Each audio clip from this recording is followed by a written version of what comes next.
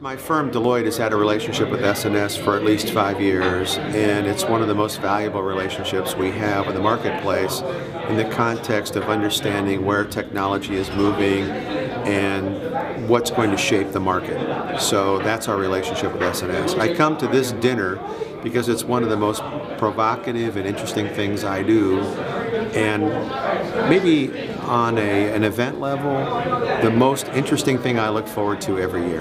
It always expands the mind, and so I'm here to, to grow and learn and share, absorb, and uh, walk away being a little bit be better practitioner because I participate.